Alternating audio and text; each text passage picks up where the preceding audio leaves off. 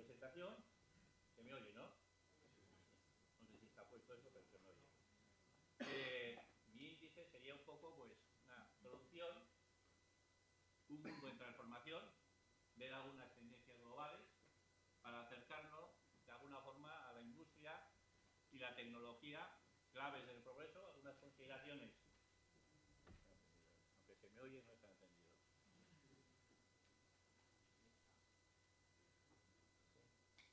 Algunas aproximaciones también acerca de Tecnalia, porque Tecnalia siempre tiene novedades, algunas conclusiones eh, finales. Y pues también recordar pues eh, de Leonardo da Vinci pues fue alguien fundamental en la historia del Renacimiento, pintor, escultor, botánico, filósofo, ingeniero, científico, no estudió en la escuela de Bilbao, pero urbanista, músico, arquitecto y poeta, fue una figura eh, más representativa del Renacimiento y representa también la fusión entre la ciencia y la tecnología y el arte. Ejemplo de personas que hicieron ese primer eh, Renacimiento, ¿no? Y de ese Da Vinci también hemos llegado hace unos años también al, al robot quirúrgico Da Vinci. Ha sido también una revolución, ¿no? Un desarrollo tecnológico del siglo XXI, paradigma de la, conversación, de la conversión del conocimiento en producto, resultado del conocimiento aportado por personas especializadas en diversos campos, un ejemplo realmente entre muchos ¿eh? de este segundo renacimiento. Por cierto, que Tecnaria participa en el desarrollo de un prototipo del primer robot quirúrgico estatal con visión 3D de, de, del occidente europeo, ¿eh? de España. Estamos en este proyecto Broca, que es un primer robot quirúrgico del Estado con visión 3D, que aportará importantes ventajas frente a los sistemas tradicionales, esperemos mejorar. El cirujano podrá operar sentado frente a una pantalla con visión 3D, empleando unas gafas y controlar todo lo que acontece en el quirófano. ¿no? La robótica ha constituido también una revolución en el campo de la cirugía mínimamente invasiva. Como digo, Tecnaria participa en el desarrollo, en el primer proyecto de compra pública precomercial en biomedicina del Estado. Concretamente, con el Hospital Sofía de Córdoba, unos centros de investigación y con algunas empresas industriales. Ese proceso estamos. Y estamos también hacia un nuevo renacimiento, de Da Vinci ¿eh? a Da Vinci. Pero estamos también en un mundo en transformación. Un mundo en un escenario de globalización como el que vivimos, todos los países compartimos los mismos retos, a los que se está dando una respuesta de forma diferente en cada área económica, en función de las necesidades y la estrategia en de cada área económica. Dentro de una globalización hay áreas, espacios económicos que tienen problemas globales, pero que están dando, de alguna forma, respuestas diferentes en función de su área económica, de este mundo en transformación.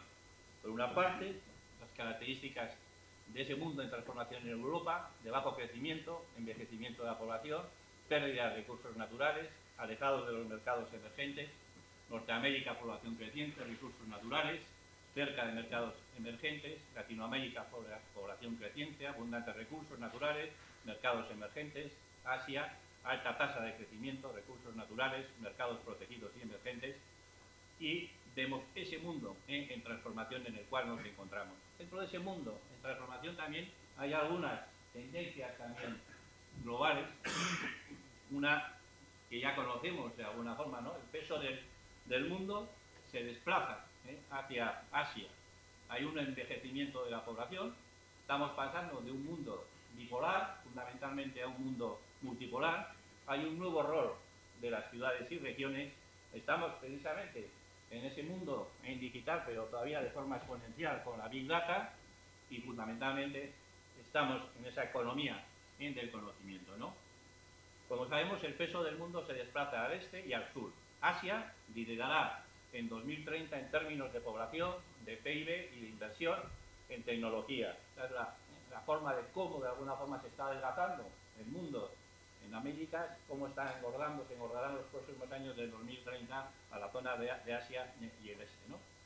Pero también el informe de la Unión Europea del 2013, de hace tres días, decía que el 70% de la producción de conocimiento está ya fuera de Europa. El 50% de los recursos humanos en I+.D. están fuera de Europa, Estados Unidos y Japón. El informe de competitividad de la Unión Europea. El problema, en 2030, la mayor parte de los países europeos y otros como Estados Unidos, Corea, están poblados con personas de más ¿eh? de, 50, de 50 años. Entonces hay un problema de demografía y hay un problema de mano de obra. La migración, que sigue siendo un problema en estos momentos, suplirá en algunos campos y en algunos países la necesidad de fuerza laboral en países más desarrollados. Estamos pasando de ese mundo que he dicho bipolar ¿eh? a un mundo multipolar, pero un mundo multipolar en el que hay cada vez nuevos actores, nuevos actores que son países emergentes, puede ser BRIC, puede ser Águilas, ¿eh? puede ser Tibet, países emergentes importantes, las regiones y las ciudades, también en ese escenario. son el peso de las regiones y las ciudades jugarán un rol esencial en el nuevo escenario económico. Que son la, población que tendrán todas estas ciudades en el año 2020. 37 millones, hasta 11 millones, llegan más de 20, más de 50 en crecimiento de alguna forma de las ciudades a nivel de población y con todo lo que lleva con ello en el ámbito tecnológico y urbano. Y hay también dentro de ello está pues, nuestra ciudad vasca, ¿eh? nuestra ¿eh? Euskal nuestra ciudad vasca, pequeña, pero que está ¿eh? también con efecto en ese concepto del rol de las ciudades y de las regiones. Respecto al tema de Big Data digital, hay ese concepto de el volumen de información.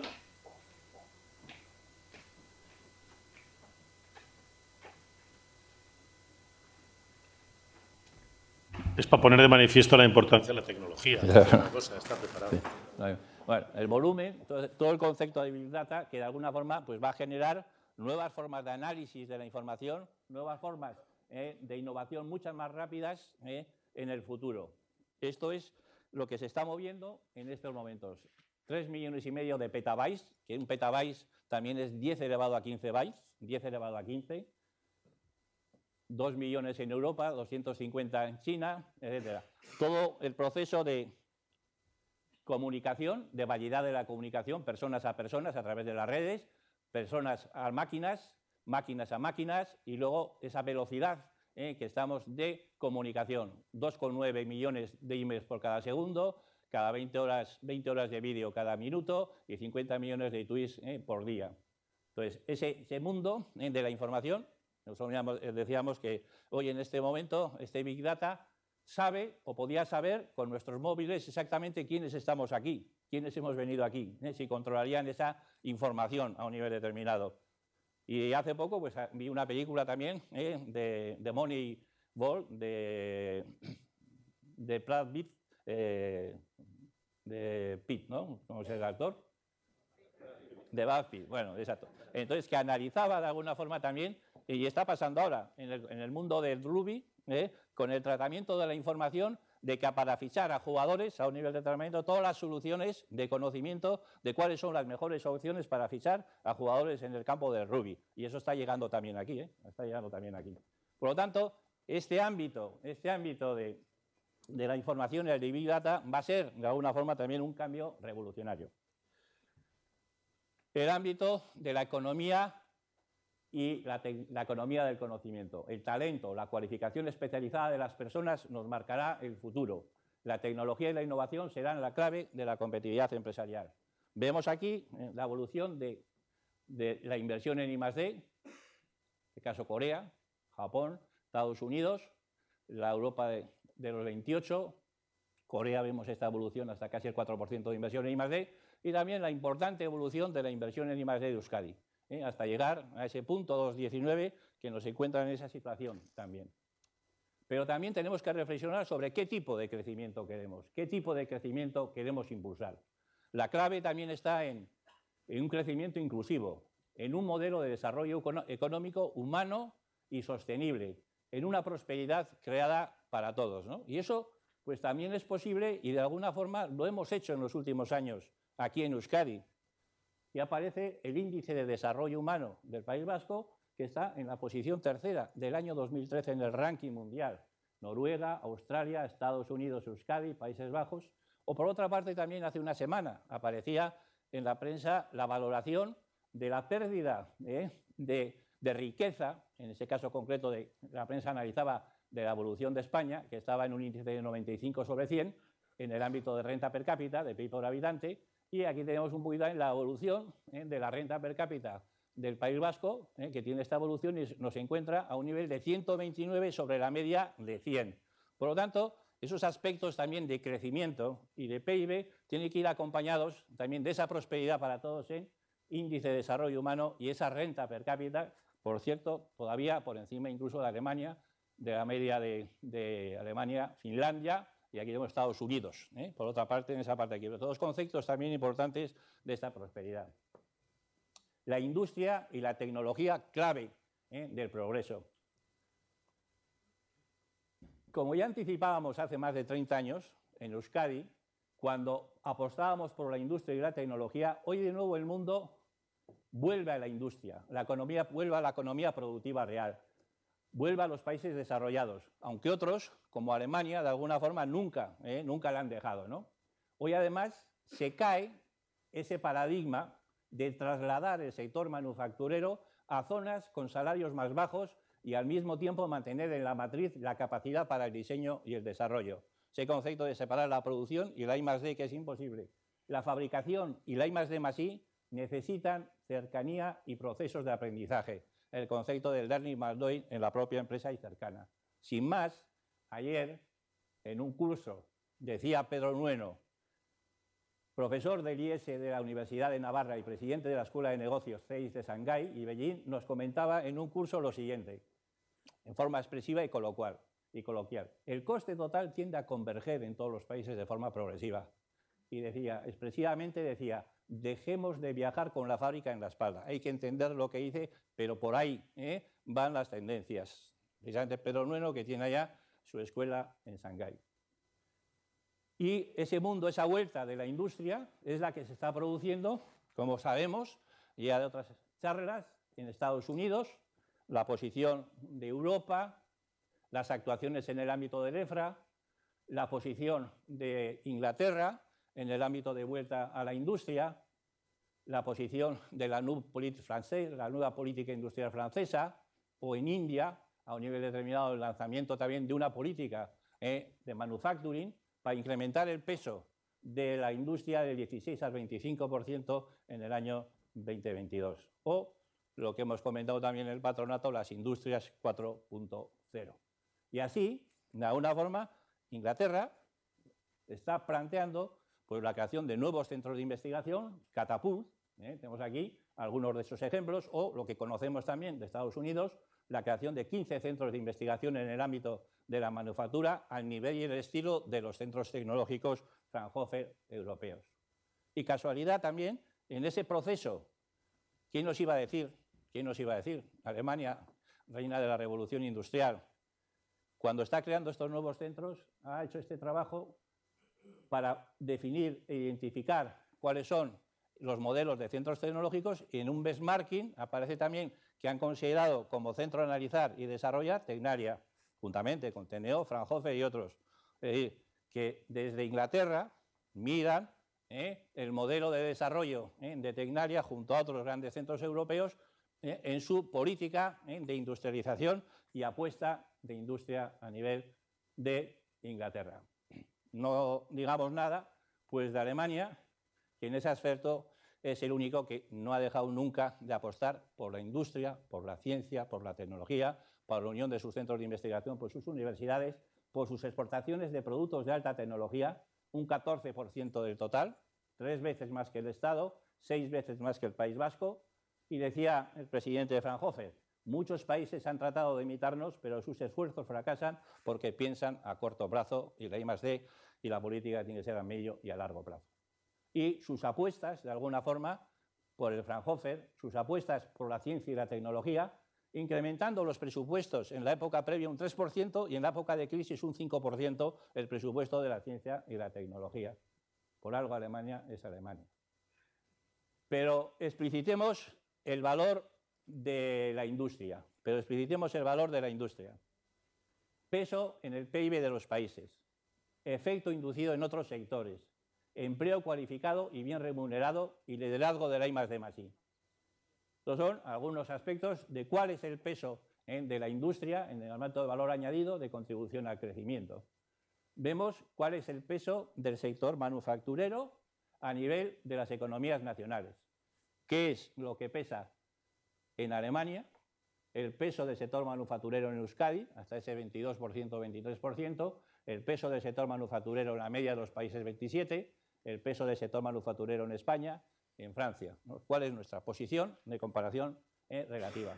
O cuál es también eh, la evolución, en este caso también de China, a un nivel determinado, del peso de la industria.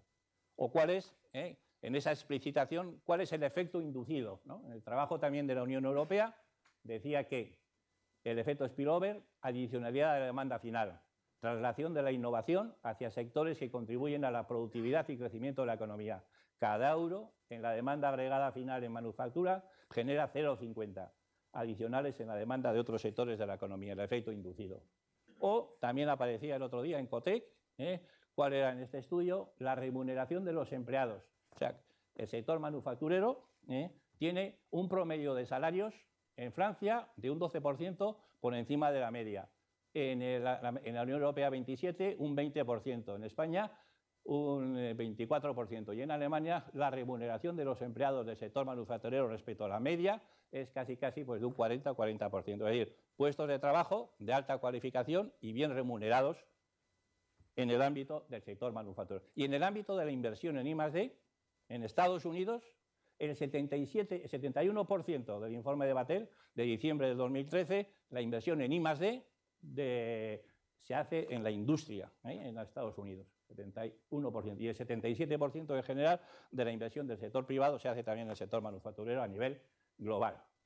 Y estamos en esa industria que es importante, pero estamos también en un cambio de una industria. Estamos en el cambio de una nueva revolución industrial, de una nueva industria 4.0, que tiene diversos nombres, pero lo importante es que se trata de una nueva industria, de una nueva industria que tecnológicamente pues tiene tecnologías de Internet, de automatización del conocimiento con sistemas inteligentes que puedan tomar decisiones sobre tareas y procesos complejos, e Internet de las cosas, sensores y actuadores de bajo coste para recopilar datos, monitorizar, tomar decisiones, robótica avanzada, impresión 3D, materiales avanzados, materiales inteligentes, y que de alguna forma, como hemos visto también en el patronato, estamos en ese proceso ¿eh? también hacia la industria 4.0 con las características que tiene esta industria. ¿no?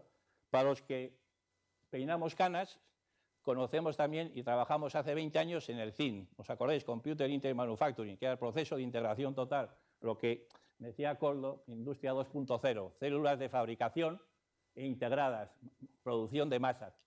La industria 3.0, automatización total, y ahora en esta industria 4.0 de fábrica inteligente de futuro. Estamos en esa y con ese proceso también de digitalización interna, ha comentado el tema de las gafas ¿eh? de Google, de ese proyecto, de introducir ¿eh? la digitalización, las TIC, a nivel de gestión y conocimiento interno y externo. También tengo gafas yo, solo para la foto. ¿eh? Bueno. Y nos acercamos ¿eh? de alguna forma a la industria en Euskadi, a la industria en Euskadi. Entonces, estamos comprobando en esta reflexión que me gustaría hacer sobre la industria en Euskadi, que nuestra apuesta por la industria desde hace 30 años era acertada que nuestro modelo competitivo vasco desarrollaba una alianza público-privada era correcto, que el desarrollo de planes industriales de ciencia y tecnología, con sus fortalezas y las debilidades, actuaban como palanca de competitividad, que de alguna forma estamos en ese mundo de vuelta a la industria en todos los países, ya hemos visto. Pero la profundización de la crisis, que nos está situando en un escenario cada vez más competitivo, nos obliga a nosotros también a reinventar nuestra industria Además, la carrera de la competitividad no tiene descanso y hay que seguir apostando con más inteligencia por la industria y los servicios con esos. Hay que anticiparse a la puesta en marcha de una nueva manufactura de futuro en Euskadi. Y hay también, por lo que he visto yo, que es importante que en esta carrera debamos estar una falta, una necesidad de renovación del equipamiento tecnológico. He oído yo a muchos del sector industrial, lo han declarado públicamente, que nuestros equipamientos de la industria se están quedando ¿eh? también obsoletos y necesitamos una renovación tecnológica de nuestras infraestructuras ¿eh? de las empresas tecnológicas. Porque la nueva industria sigue y va a ser siguiendo clave ¿eh? del crecimiento económico y el bienestar y constituye esa cadena de valor. Pero ¿qué tipo de industria necesitamos? Hemos avanzado en I+.D., estamos en una posición importante, pero la foto de nuestra estructura, nuestro contenido tecnológico de nuestra industria, por ejemplo, las ventas industriales, pues nos dice cuáles ¿eh? nuestras ventas industriales de contenido alto, de contenido medio alto, 264, 292, 2,82, 288, de contenido medio alto, o cuáles son un poco el contenido tecnológico de nuestras exportaciones, que de alguna forma pues, han ido acortando en el ámbito de alta y también manteniendo casi estables en el ámbito de media y alta tecnología. Y la reflexión es cuáles han de ser las características de los productos fabricados que queremos vender en el mundo. ¿Qué valor añadido deben incorporar? ¿Qué tecnologías deben llevar embebidas?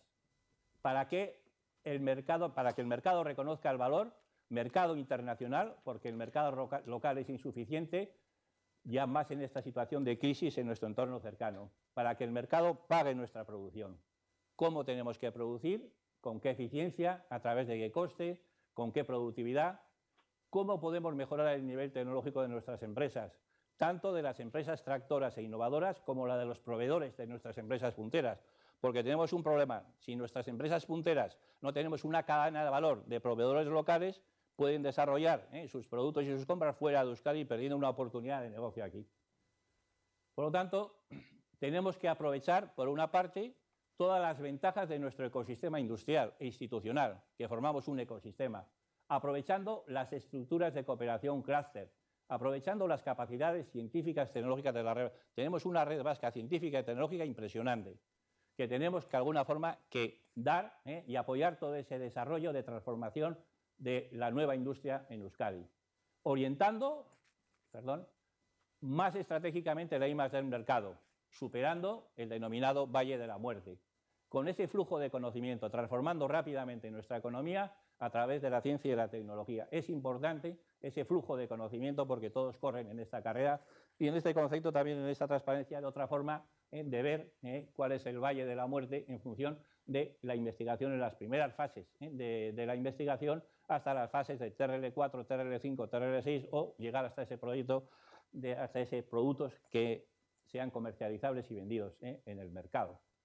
A través también del desarrollo de las KEDS, ¿eh? de las tecnologías habilitadoras que existen, en que existen y que son las apuestas de Europa y nuestras, dentro, lógicamente, de la estrategia de especialización inteligente de Euskadi, y uno de esos pilares fundamentales ¿eh? es el de la manufactura, junto a la energía y las biociencias y la salud, y trabajar de forma codo a codo en este proceso con todas esas ventajas que tenemos en nuestro ecosistema institucional, industrial y tecnológico.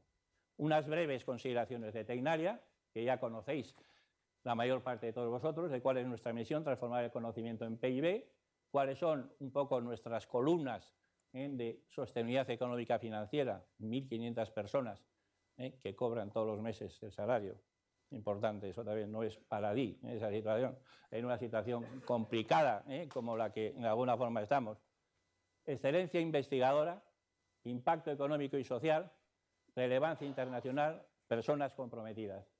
Con estas cifras ¿eh? de, de personas, investigadores, patentes, nuevas empresas creadas, con esta también reestructuración que hemos hecho en la organización hace unos meses en industria y transporte, construcción sostenible, energía y medio ambiente, ICT, salud, una división nueva de iniciativas emergentes, un proceso de dimensión tecnológica nueva en el ámbito de eh, desarrollar eh, las KEDs eh, de forma eh, integrada en, en, de las tecnologías de manufacturing, las tecnologías de materiales, las tecnologías de nanotecnologías de ICT, con en el ámbito, la extensión de los servicios tecnológicos avanzados que son horizontales para todos los ámbitos, o las estrategias de innovación para todos los ámbitos, o Tecnaria Venture, que hemos creado hace un año, para de alguna forma orientar, orientar de alguna forma eh, y resolver de la forma más eh, adecuada ese gap, ese valle de la muerte,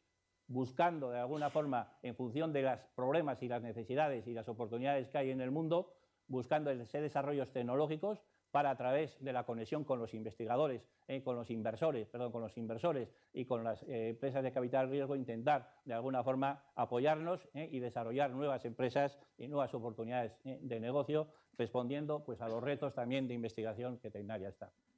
Pero de alguna forma Tecnaria trabaja siempre en colaboración. 1.500 personas para nosotros no, no somos nada. En nuestro ADN está que tenemos que de alguna forma colaborar que hay que desarrollar networking, cooperación, economías de escala y economías de escala también en la I+.D., economías de escala en la I+.D., para tener mayor presencia en la Europa del conocimiento, desde una región avanzada como es Euskadi.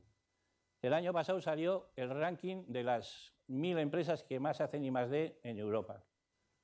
Entre las cinco primeras está Volkswagen, está Daimler, está Robert Bosch, está Siemens y la octava está BMW. Dos compañías dos compañías, la primera y la segunda, invierten en I+.D. 15.154 millones, un 13,15% más que toda la inversión del Estado. Toda la inversión de España son 13.292 millones, pues dos compañías eh, alemanas invierten más que toda España. Cinco compañías invierten 28.000 millones, un 111,44% más que toda la inversión del Estado.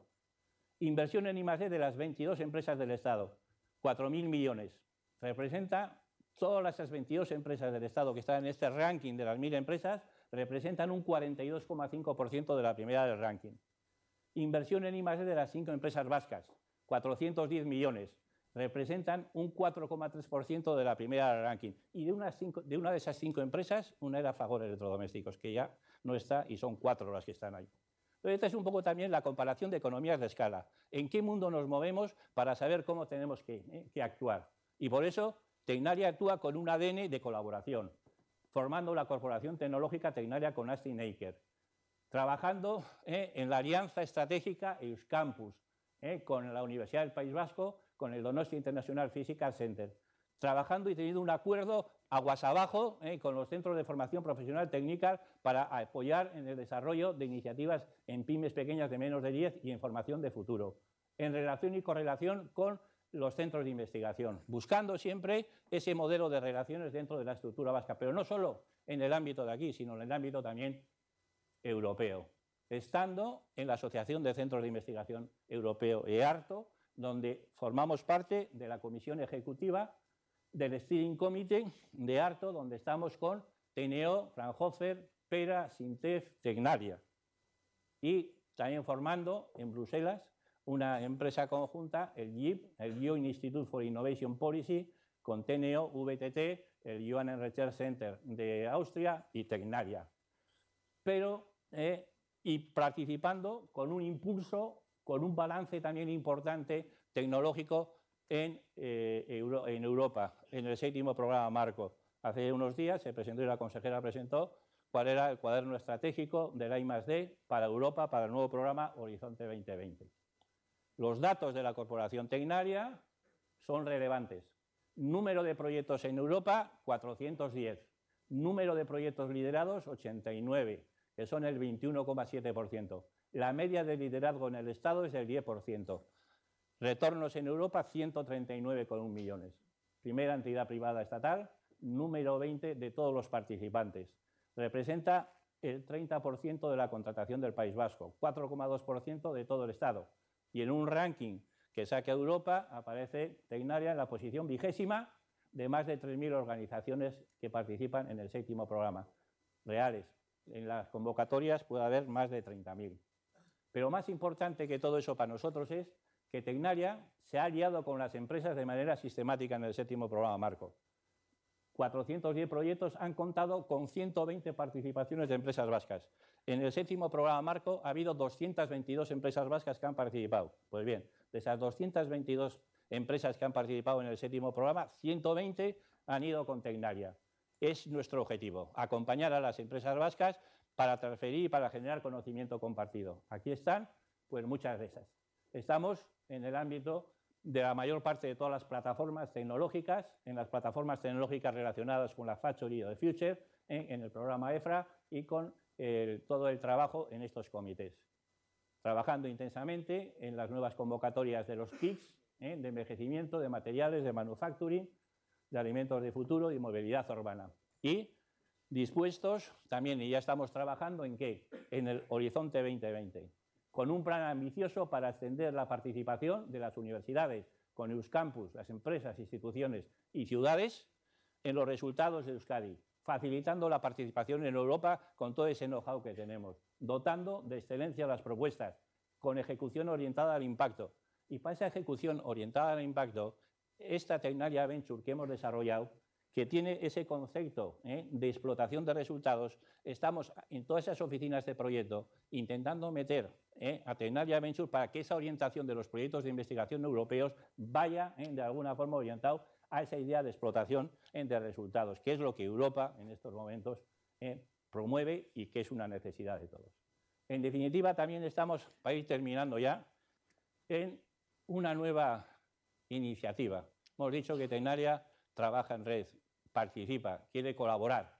Y estamos haciendo, estamos promoviendo pues un nuevo esfuerzo, un nuevo renacimiento tecnológico europeo para apoyar esa necesidad de ese nuevo reconocimiento tecnológico europeo, a través de la puesta en marcha de la creación de una alianza de centros de investigación europeos, que esperamos que esté cristalizado a finales de año y que involucre a un colectivo de más de 10.000 investigadores de varios países de Europa. Es una alianza, estamos trabajando para trabajar conjuntamente con una visión de promover una industria europea impulsada por el conocimiento, siendo la tecnología el motor de negocios innovadores basados en nuevos productos y servicios, haciendo así una Europa atractiva para la industria, competitiva para las empresas y próspera para los ciudadanos.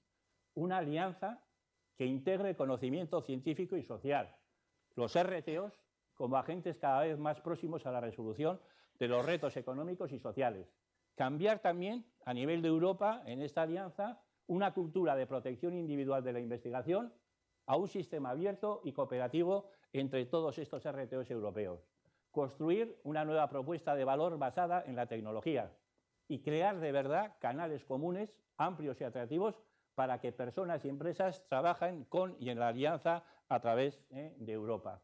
Entonces, cooperar en esta alianza en el ámbito de las personas, llevando personas de aquí al resto de centros de Europa y viceversa, en el ámbito de modelos de organización, en el ámbito de las políticas de cooperación y en el ámbito también eh, de los retos sociales y construcción, como decía eh, el anterior eh, comisario Janes Potonic en esta frase. En definitiva, estamos también en un nuevo paso de, de Tecnaria, avanzando en ese concepto que tiene en el ADN, cooperación renacimiento industrial, renacimiento tecnológico europeo. Y para terminar, creo que el triángulo de éxito de los países avanzados es este, industria, I más de más I y capacidad exportadora. Los grandes países ¿eh? industriales, Estados Unidos, Japón, Corea del Sur, Suiza, Singapur, Alemania, están en esa ecuación, en una ecuación de conexión entre la industria y la I más D I de ese país. No sé cómo será, si es la tercera, la cuarta, como hemos dicho, revolución industrial.